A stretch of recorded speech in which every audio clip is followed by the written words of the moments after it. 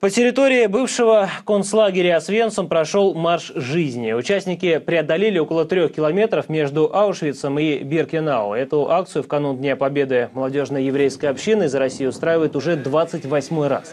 Чтобы почтить память жертв нацизма, в Польшу на этот раз приехали 800 человек из 35 городов страны. Поездка проходит при поддержке главного раввина России. Можно я Поразило вот это место само, вот как люди могли вот такое натворить. Люди вроде должны друг друга уважать, ценить, а готовы были убивать друг друга просто за какую-то идею. Вот это меня поразило, как большой уважаемый такой народ, как немцы могли взять и пойти против просто так, из-за того, что евреи, вот просто евреи. Каждый еврей обязан быть здесь э, хотя бы раз в жизни, посмотреть на это место, как это, как это было, как известно, без истории нет будущего.